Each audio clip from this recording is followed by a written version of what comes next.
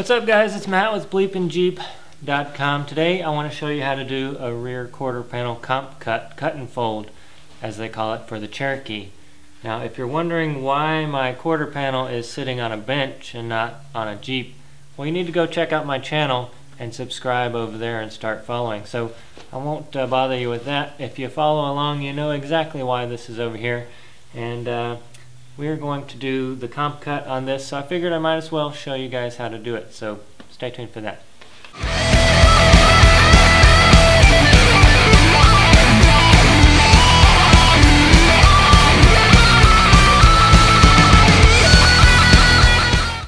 Alright, so let me first tell you why people do the cut and fold on the Cherokees here. This sticks down pretty far. The Cherokee has a big rear end to begin with.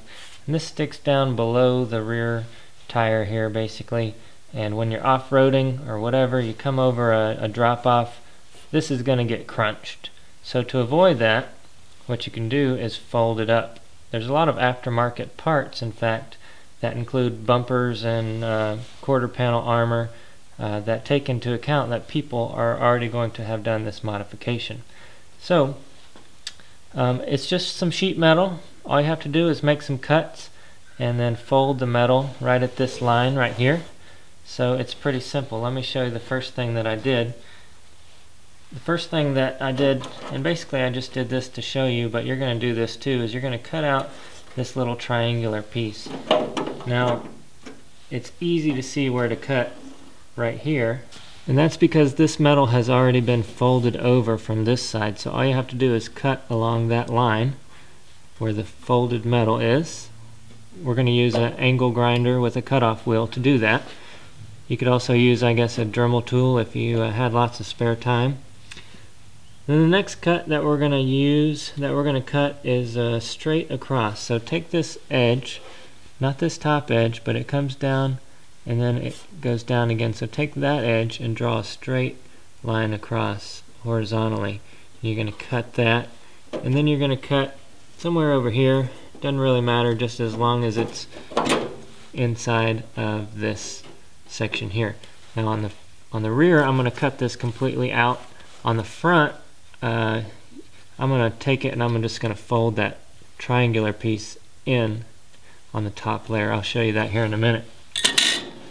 So now that you've done that, you can see inside here. You can actually see inside there from the inside as well if you take your uh, plastics off. So the next thing that we need to do, we're going to cut somewhere along down here and we're going to fold this piece up. This left piece is going to fold up to the right. This right piece is going to fold up to the left and it's going to make a flat spot right along here. So to do that, what we need to do is get a measuring tape. We're going to measure down from each side. So this side I want to go on the inside so I'm going to make it a little bit shorter. So I've measured and marked right here 4 inches. So I'm going to mark down 4 inches on this side, mark 4 inches on the other side, and then I'm going to cut a line. I've already marked it back here, you can't see it, but I've cut a line I've marked a line straight across at 4 inches over here. On this side it's a little farther out, between 5 or 6 inches, just enough that this will come all the way up and meet right here. So here's what I mean. That one is uh, 5 inches. So this one on the right side, we want it to be 5 inches long so that it covers up this hole. So I've marked 5 inches down from where we're going to bend it and made a line right here and marked that line all the way across. It's a little hard to see, but that's the line right there, 5 inches all the way across, coming down from this edge. Now on the later model Cherokees, you're also going to have this little uh, piece which holds the plastic in. All you need to do with that is take your die grinder, cut the uh, rivets off, and pull this off. We'll patch those holes later. You can weld them shut, or you can just use RTV or whatever. Now on the front side here you have this pinch seam. So we're going to take that and we're just going to cut that off even with this line where we're going to fold everything up. So make a straight line across here. And then we want to keep this little edge right here. That'll help uh, fold up and over and kind of keep the water out, give you a better seal. So we're going to cut this line right there. Okay. Now for this little triangular piece in here, all I've done is taken and drawn a line from that 4 inch mark on the inside back here to that 5 inch mark on the outside over here and we're going to cut straight across there. Don't cut up here, we're going to fold that in. Let's get to cutting.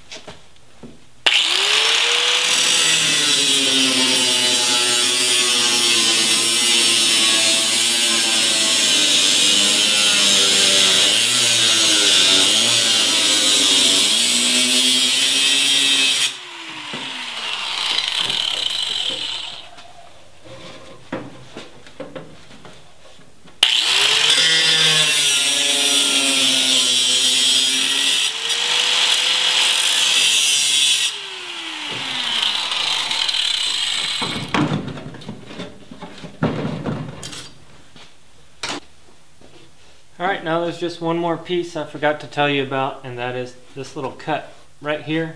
Then we'll be able to fold this in, this in, and this in like a cardboard box.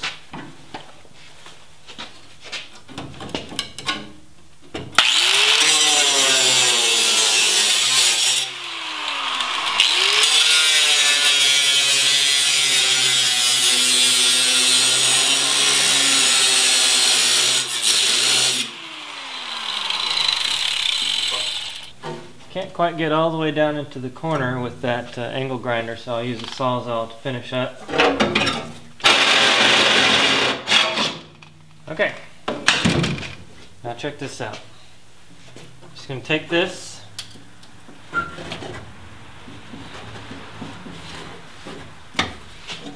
and push it down.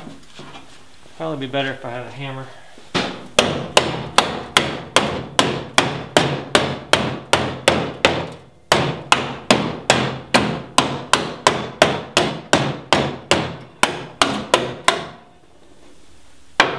We're going to do this one.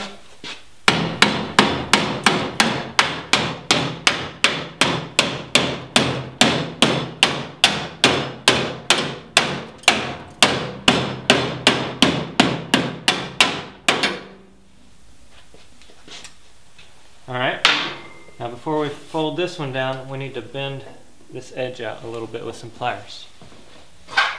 Now you could choose to cut this off completely you could go on the inside, but I've always uh, bent it out and put it right here along the outside. Then uh, if you have a, if you don't weld, you can have a place to rivet, you can have a place to bolt it down, or you can still have a good place to weld it on the outside lip here.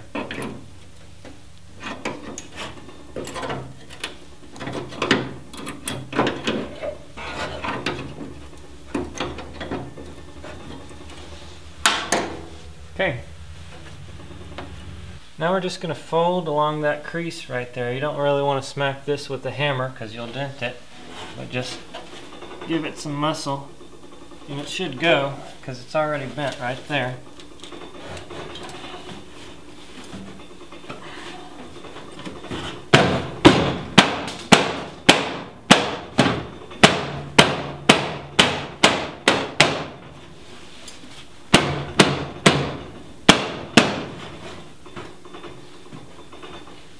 Just going to use a rubber mallet and gently bend it a little more uh, angular right across that line right there.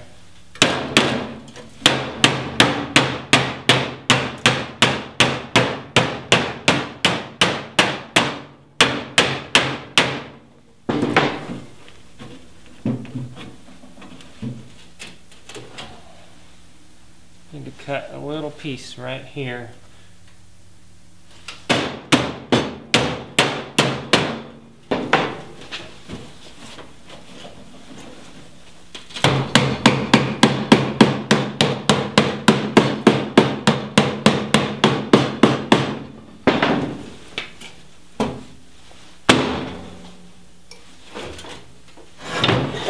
Okay guys, well that's it. It's a pretty simple job. Now depending on your skill set, you can either uh, weld this together, you could use rivets to hold it all together, you could use bolts. In that case, all you're going to do is drill up from the underside here, put some rivets in it, put some bolts in it, or just weld it up around the edges. Heck, I've seen some guys just use RTV to hold it together. But once you are done, you probably do want to seal that up pretty good. You don't want water getting in there, so you can either RTV it on the outside, uh, put some silicone sealant on there. You can do the same thing on the inside, whatever you prefer. Thanks a lot, guys. I hope you learned something. Hit the thumbs up, subscribe, and check out the Bleepin' Jeep website for our awesome Jeep fan t-shirts and uh, Jeep history t-shirts as well. We'll see you next time. Oh,